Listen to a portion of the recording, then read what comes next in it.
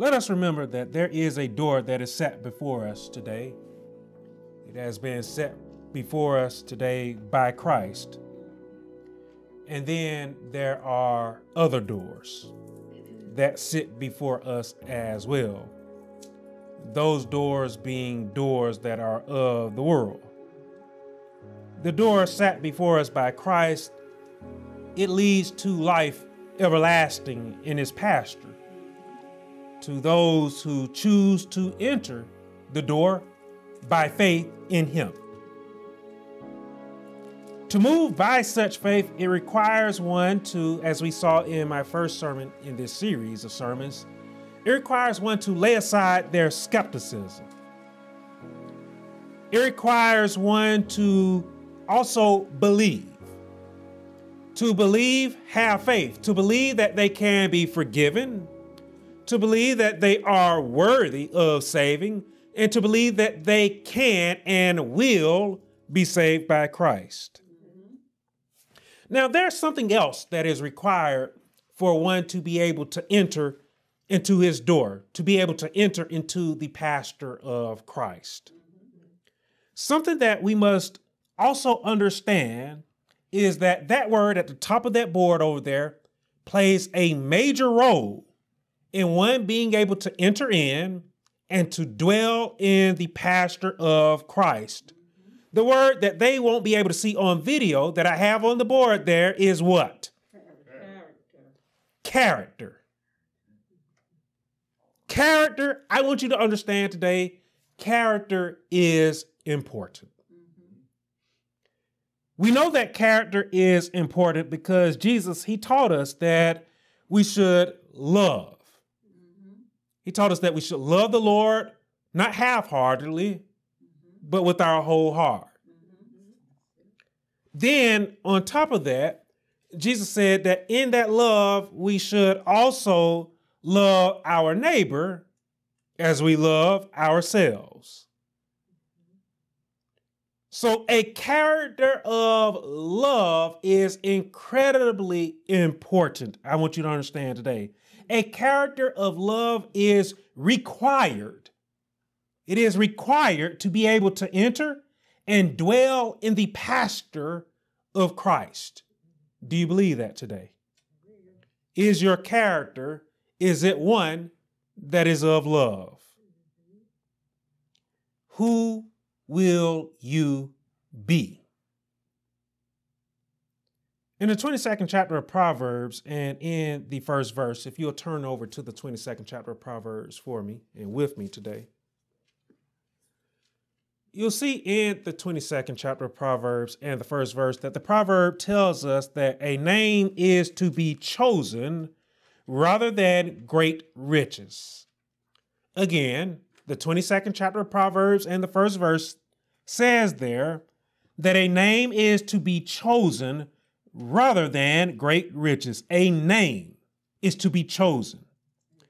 Then we'll see there that the proverb said that you should choose to love favor rather than loving silver and gold.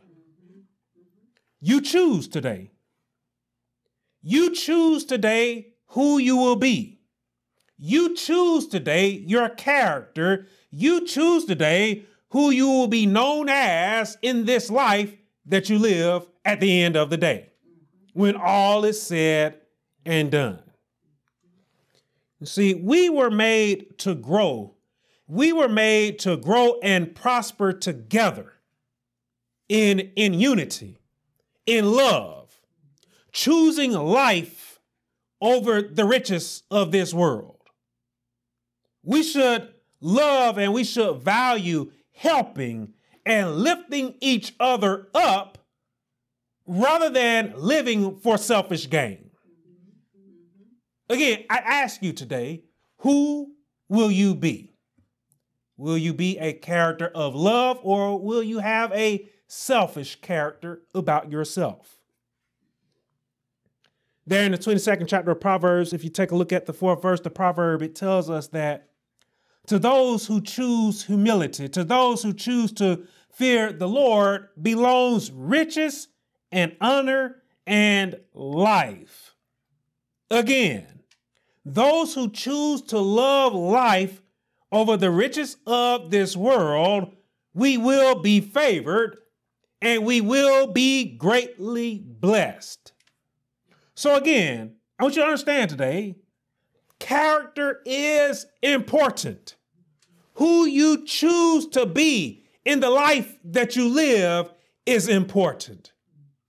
The character that we should aim to be should be a character that is of love, a character that is of grace, a character that has humility, a character that is God fearing. Again, let me ask you today who will you be? Now, if you will, turn with me over to the second chapter of First John. Bookmark the fourth chapter of John, just place the uh, fourth chapter of Genesis, I should say. Just put something in place there. We're going to come back to it. And you'll also want to put something in place of First John as well. We're going to go back and forth between Genesis and in First John here. Now, in his epistle, John he also spoke about he spoke about character, and we'll see that he will define the difference between two character choices that that we have to choose between making today. So we must pay very close attention to what John says here in First John, the second chapter of First John where we'll see there, for example, in the third verse, that John, he wrote, We know that we know him, that is the Lord, if we keep his commandments. He said, We know that we know him. We know that we know God if we keep his commandments. He then wrote and said that in the fourth verse, he said that he who says, I know him, and does not keep his commandments, John said that he is a what? Liar. He is a liar. That is his character. Mm-hmm. One who says that that he knows the Lord, mm-hmm. but does not actually move to to keep his commandments. John said that he is a liar and the truth is not in him. Who will you be? Will you be a liar or will you be one that moves in the truth today? You see, there are many that love to say that, that they know the Lord.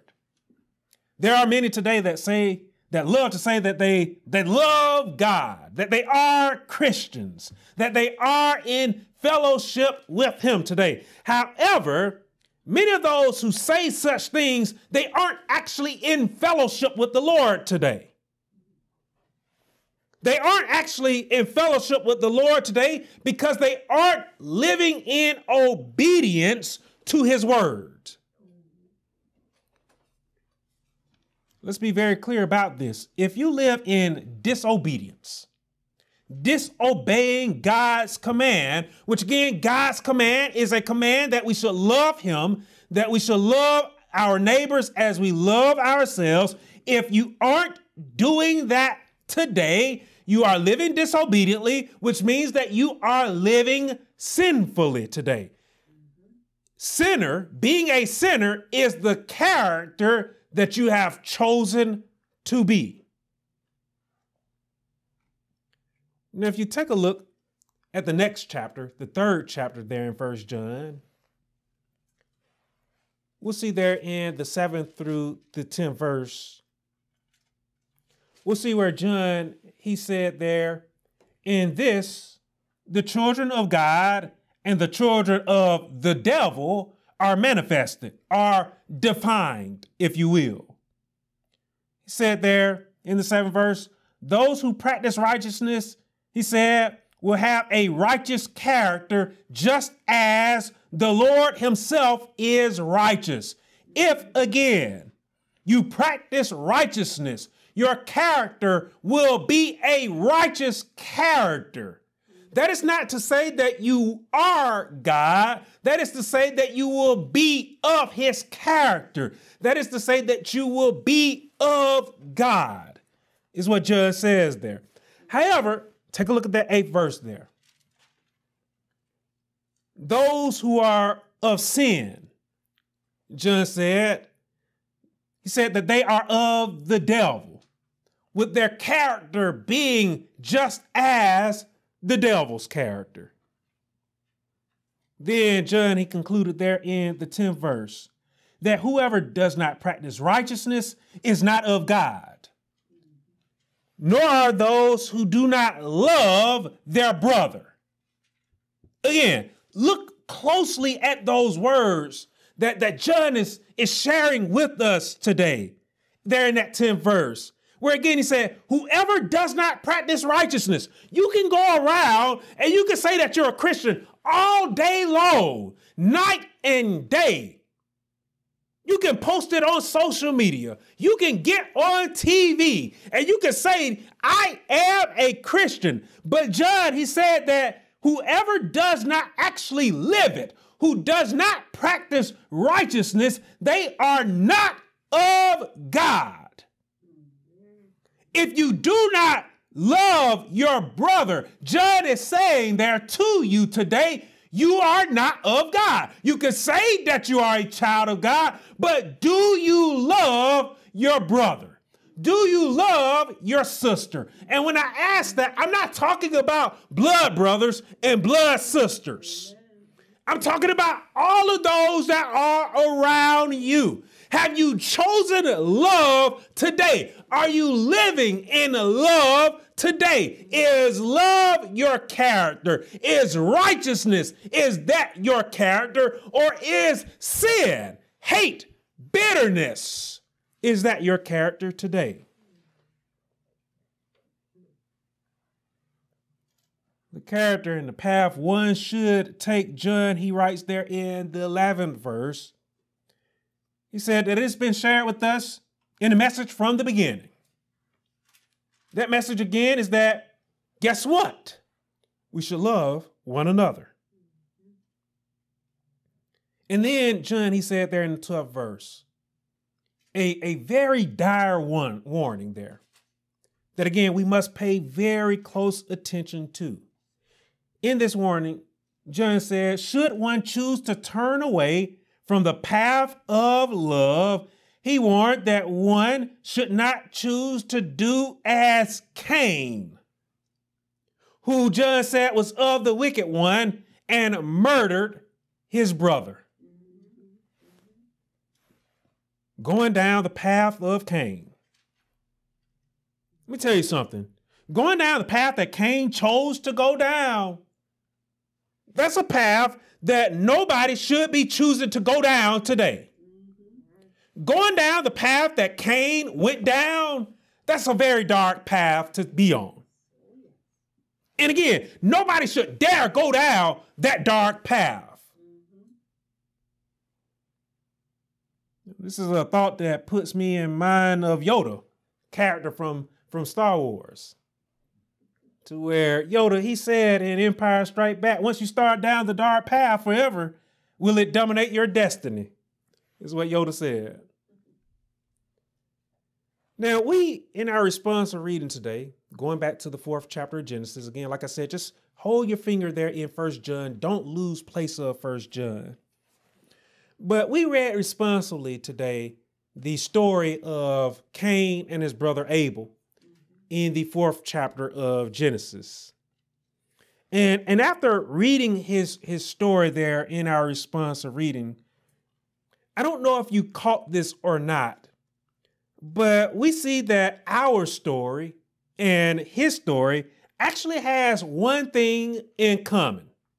I don't know if we ever really pick up on it, but yes, our story and Cain's story actually shares one thing that is in common. Cain's story began with the same choice that's given to all of us, given to, to all people by the Lord. The choice being, what will one bring? What will one give to God in how they choose to live in this world?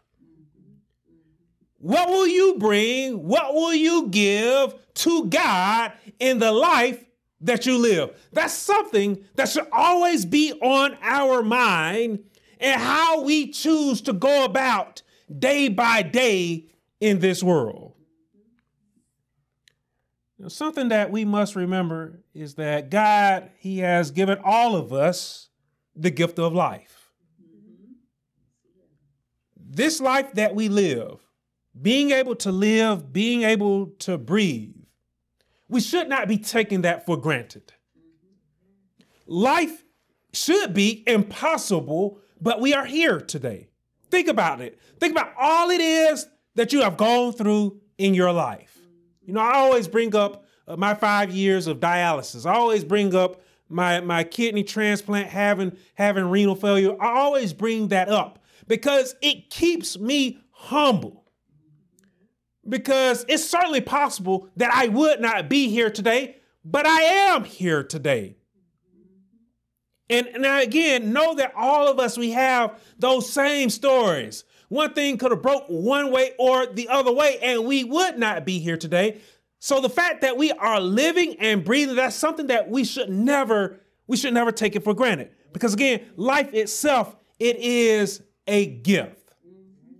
Therefore, we should always take into serious consideration the choices that we make with this life that has been given to us, not through our own strength, not through our own power. Yes, we were born through our, our parents, Yes, we were born through them, but again, this life has been given to us by God who created mankind and breathed into mankind's nostrils, and we became a living soul.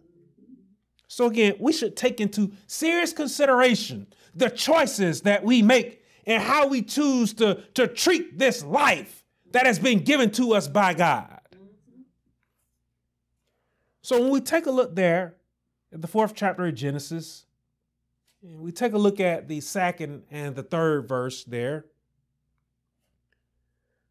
We're told that at an appointed time, Cain, he brought forth an offering to God that was the fruit of the ground. That's what we see there in the second. And again, taking a look at the second and third verse, just the opening of the fourth chapter there. Considering that the scripture tells us he was a tiller of the ground, a farmer, if you will, him bringing forth the, the fruit of, of his labor, it makes sense to us as that being his offering that he gave to the Lord. Now, some of us first time Bible readers, we will look at that and we will say, oh, well, nothing seems bad about that. He's just bringing forth the fruit of his labor, right? Mm-hmm. However, again, just taking a look there from the second through the fourth verse there, we'll see that Abel, that again, he did just as Cain did. Abel, his brother, we are told there, that he was a keeper of sheep. In other words, Abel was a shepherd. There was often a role that was given to the youngest ones, the younger ones. We saw that with David and, and his brothers. Mm-hmm. Now we're told there in the fourth verse that when when he came before the Lord, Abel we'll see there he offered the firstborn of his flock and of their fat. Now many of us we don't understand that this wasn't an easy choice for, for Abel to make. Again, he was a keeper of the flock. He was he was a shepherd. I, I can't imagine, you know, this is the the firstborn of the flock. You know, the, the keeper of the flock, the shepherd, they look over their flock. They watch over them. They they are the protectors. And and Jesus, he taught in a parable, if, if a shepherd lose one of his 100, Nine, having that 99 isn't enough. They are going to go out and they're going to find that one of their flock and they're going to bring them back. And so I want you to understand here that the choice that Abel made here, it was not easy for him to give up the firstborn of, of his flock, but he did it. Mm-hmm. And so we'll see there in that scripture that after the giving of their offerings there, the scripture, it makes it very clear here. Again, just taking a look at the fourth and now the fifth verse there. Makes it very clear here that the Lord respected Abel's offering, but he did not respect Cain's offering. And it's from this, this moment forward in his story that Cain he took a turn to the dark path. Mm-hmm. The question that that some of us we we may begin to have is, well, why did God respect Abel's offering? Why did God not respect Cain's offering? Is what some of us may begin to wonder, some of us may begin to ask that question. If you turn over and you take a look at the 11th chapter of Hebrews in the fourth verse there, in the epistle to the Hebrews, you'll actually get an answer to that question as to why it was that God respected Abel's offering and did not respect Cain's offering. The scripture there in the 11th chapter of the epistle to the Hebrews in the fourth verse, the writer states there that by faith, okay, said, by faith, Abel came before the Lord. Again, by faith. I, I, would highlight that in your Bible or just circle it, underline that there in your Bible if you can. By faith, Abel came before the Lord and offered a more excellent sacrifice, is what the scripture says there. He offered a more excellent sacrifice than his brother Cain. You see, there's a difference here between how Abel came before the Lord and how Cain came before the Lord. And that difference is what is significant. It is what is important for us to know and for us to understand today. Abel came before God again by faith. Him coming before the Lord by faith, that implies that he came before the Lord with a sincere heart, a genuine heart. He desired to come before the Lord. He wanted to come before the Lord. He wanted to be there. Mm-hmm. And, and again, in his offering here, we should understand yes, even though it may have been hard for him to give up the firstborn of his flock, we'll see that Abel, out of sincerity and again by faith, he offered it up by love. Mm-hmm.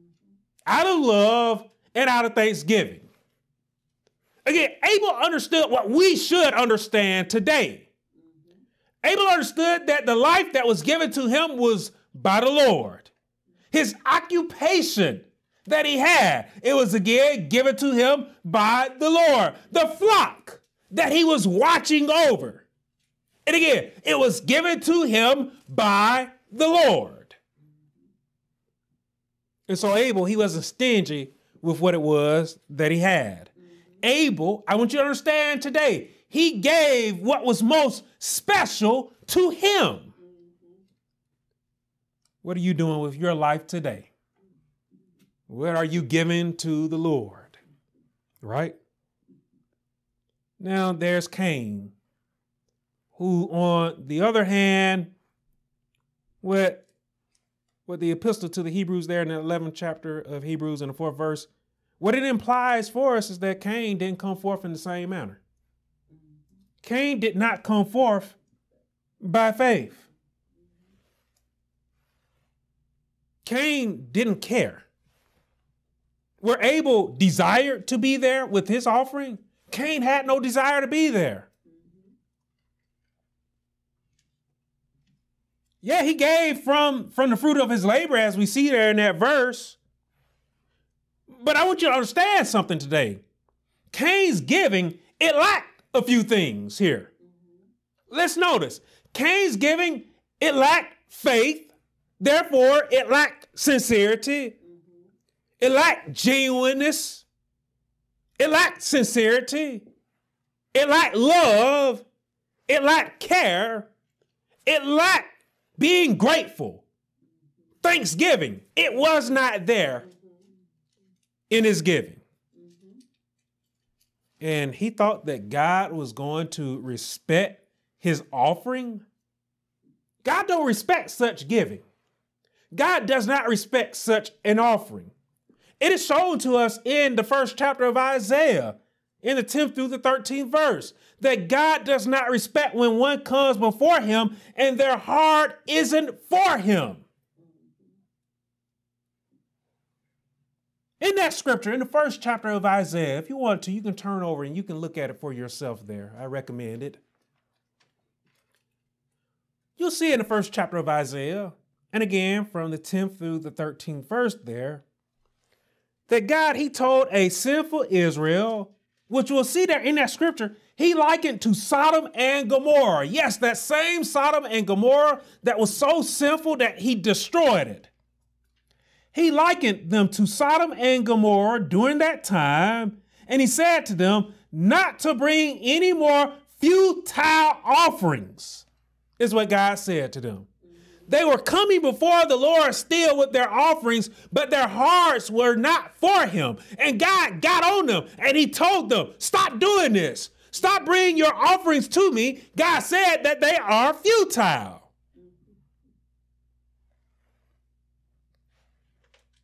Their hearts, their hearts were more for the idols. God, you know, essentially saying, why don't you go and take those offerings that you bringing to me? Go and take them to them idols that you out there worshiping, that you out there praying to all the time. Don't be coming here to me just one day out of the week. Thinking that that means something. You out there living sinfully all this time, and then you come to me out of religion. Uh-oh. Coming here out of religion to me praying to me, singing to me. And the whole time you're doing it, your mind is elsewhere.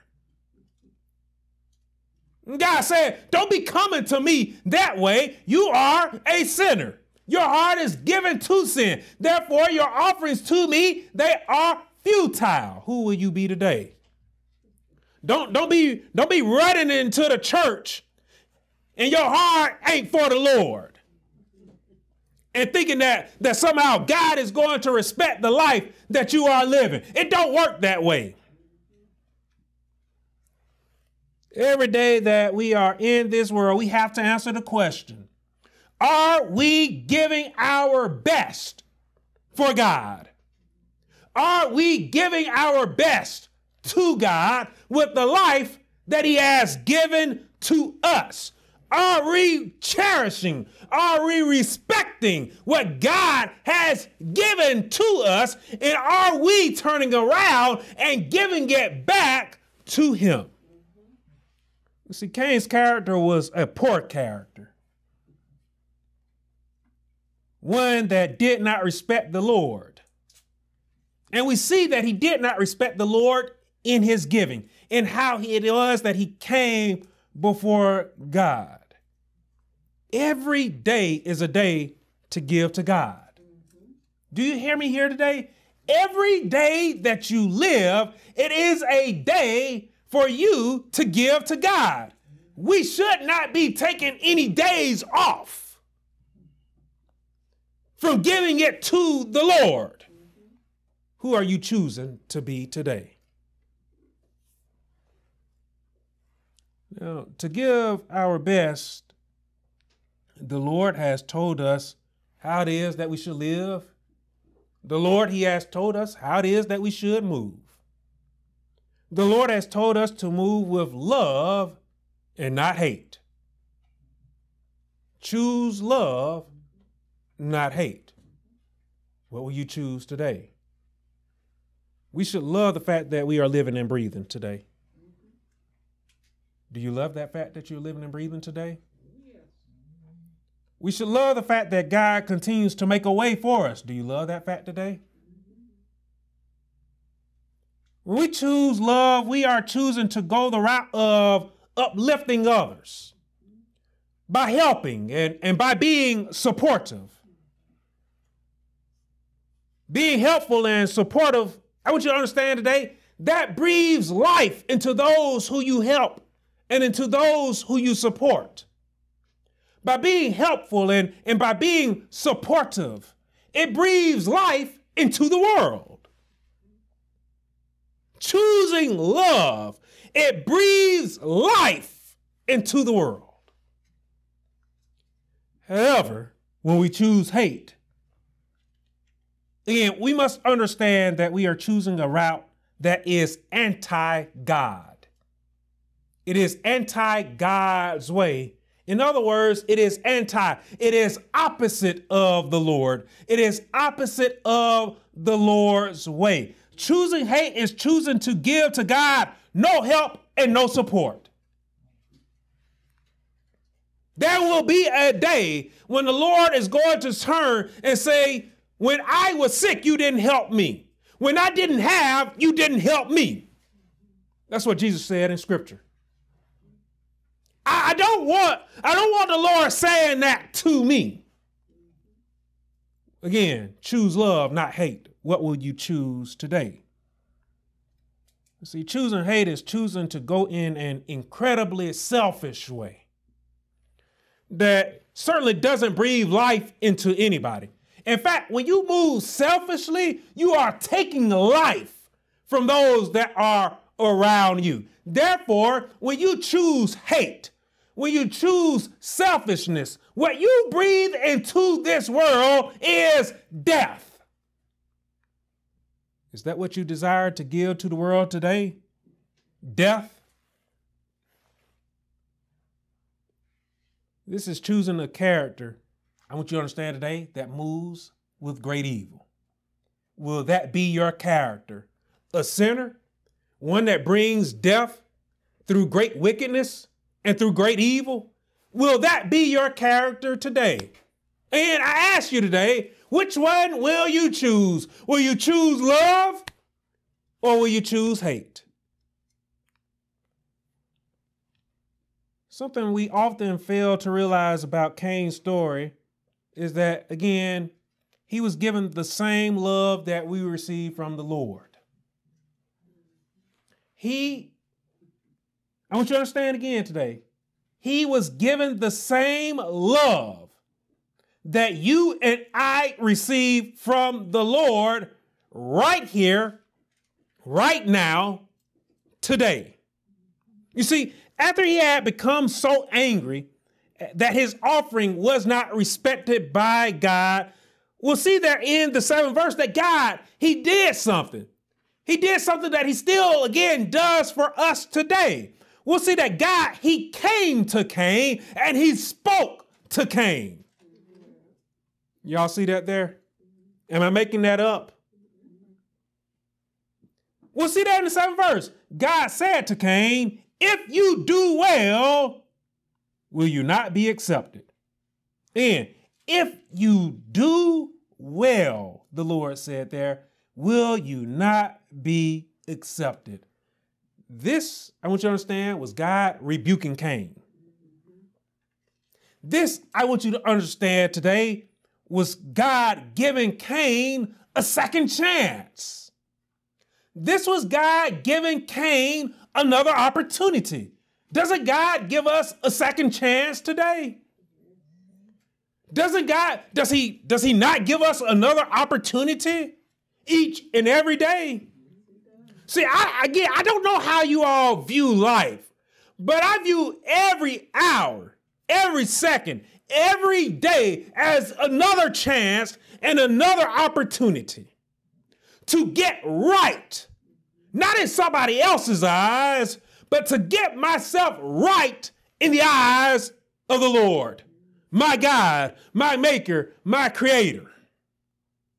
And there in the seventh verse, again, we see where God was giving Cain another opportunity to get right in his eyes. So Yoda was actually wrong that the dark path, it does not, if you start down it, it does not dominate your destiny. You can get off the dark path. If you are still living, if you're still breathing today, you still have a choice that you can make. You can choose to turn off that dark path of bitterness and, and hatred. And you can choose to turn to the path that is of light. The path that is the way of Christ. The path that is the way of love. If you are on the dark path, you have a choice and an opportunity today given you to you by the Lord to where you can get off of it and you can turn back to the light. What will you choose today? Again, like I said, character is important. Choose love, not hate. So, what will you do? What will you choose to do with God's mercy? That's the question that we have to answer today. what will you do?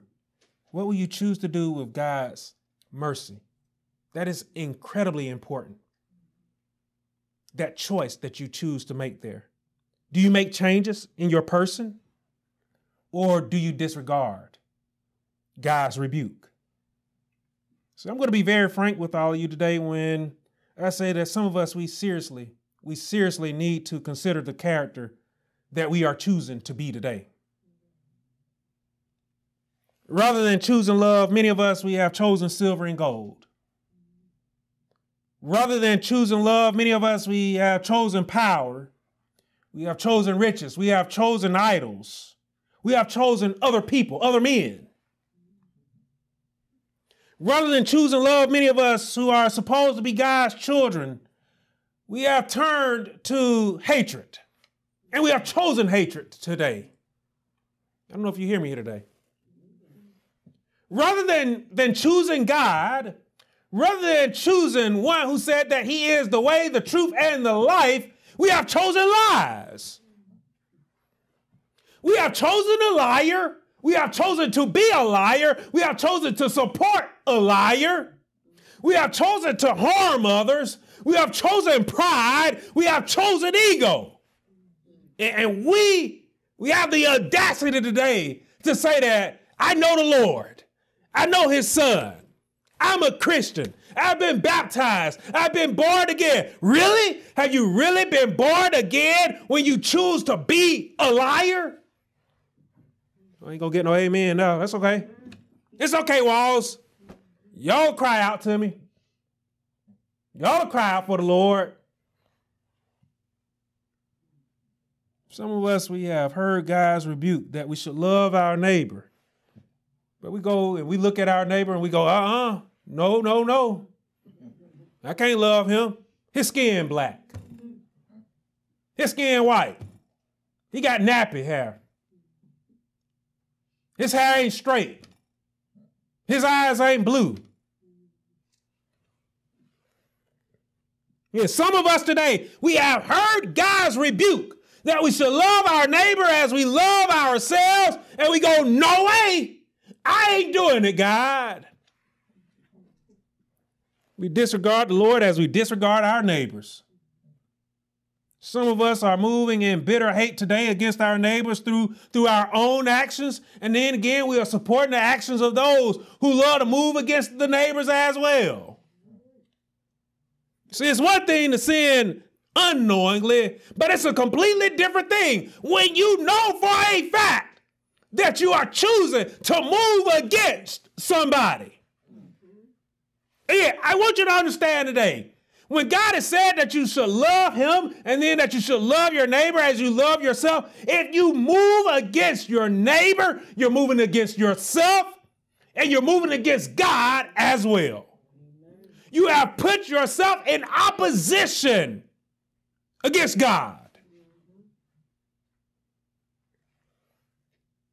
Yeah, many people today are choosing to go in the way of Cain.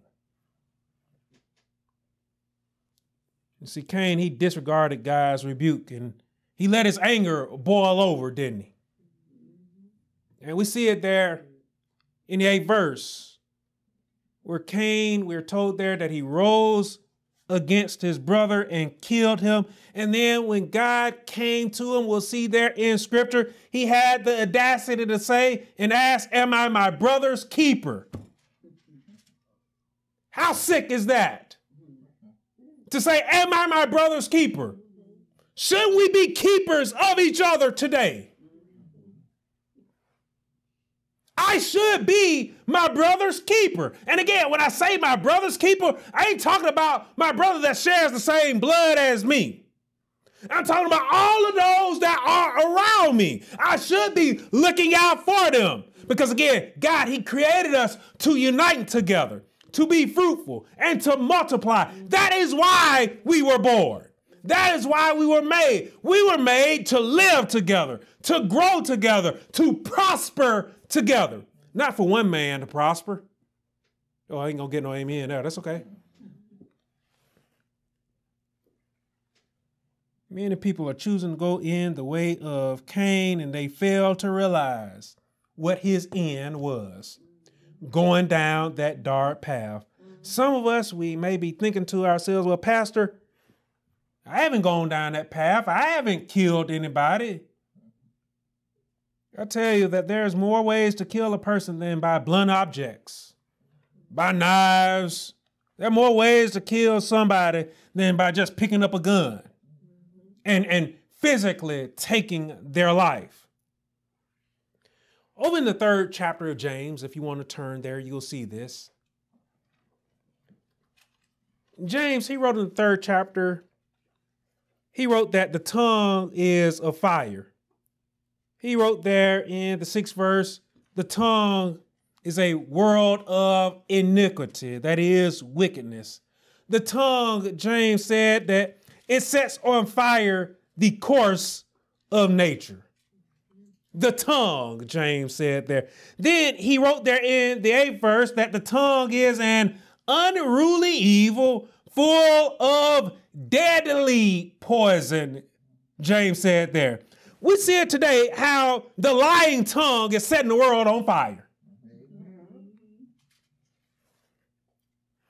With this lies, it's, it's sitting here creating fear creating anxiety, running people's blood pressure sky high, giving them heartaches, chest pains, driving up stress, driving up worry, causing people to panic.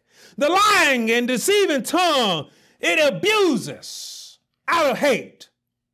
It threatens and it, it brings great harm to us mentally, psychologically, emotionally, and even spiritually today. I want you to understand today when one walks that path, again, with that lying tongue, they set themselves against the truth. They set themselves against God. And again, we must be wary. Don't be supporting no liars. You support a liar, you again, you're setting yourself up against the Lord. Mm-hmm. After he chose to kill his brother God, we know curse came.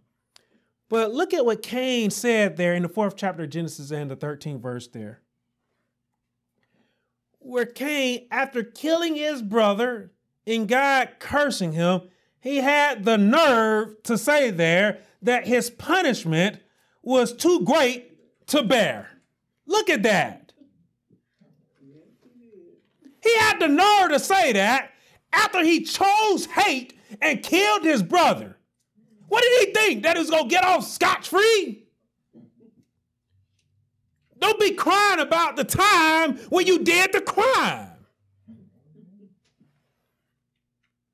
Then he said there in the 14th verse, I shall be hidden from your face. I shall be a fugitive and a vagabond on the earth. Don't be crying about it now. You chose hate. When you choose that path, understand that path, it has its consequences. When you choose to turn against God, there are consequences. I want you to understand today that this is a message about character, who you will choose to be. And I ask you today, will you choose the light or will you choose the dark? You see, Cain, he chose to open up to sin and its wickedness. And he was led down a dark path where his end was condemnation. His story shouldn't be one that is glorified as some people love to glorify today. They love to make TV shows about Cain today. It should serve as a warning to everybody about choosing the dark path, about choosing to have a character that is sinful, being a sinner. Our character should be one that is of the light of God. That is what we should choose today. Again, over in First John and then the second chapter of First John. John, he stated there in the ninth verse, he stated there, he who says he is in the light and hates his brother is in darkness until now. But then John, he said there in the 10th verse, he said, He who loves his brother abides in the light, and there is no cause for, for stumbling in him. Let us understand when we walk in the light, when all of us together walk in the light, should one stumble, we are able to help lift them up. We're able to help lift them up from that place of love, but we aren't alone in the light. Jesus is there in the light as well, and he will never allow us to stumble. He will never allow us to fall. Here is where I remind you once again that Cain, he could have enjoyed such a life. There are many people today in the world today that can enjoy such a life. All they have to do is choose love and not hate. That is all we have to do today is choose love, not hate. I am greatly concerned today because many are choosing hate and many are choosing to walk down the dark path. And they don't realize where they are going. But again, the Lord knows, and we even know where it is that they are going as well. Because again, the Lord has said that whosoever believes in him will not perish. But if one does not believe, they are condemned already. And so, anybody that is filled with hate, anger, and bitterness today, I encourage and I say to you, you still have the ability to choose love. And I encourage you today, choose love, choose life, choose life, yes, in this world, but choose life everlasting as well. It is imperative today. It is imperative today that if you have chosen darkness, it is imperative for you to choose light. If you have chosen bitterness and hatred, you still have time to choose love. So, again, I call on you today. I call on you to come to the light, abide in the light, walk in the light. And again, I tell you today, take on the character of love, take on God's character, and by his character, you will live, and all of those that are around you they will live as well. Amen. Amen. Amen.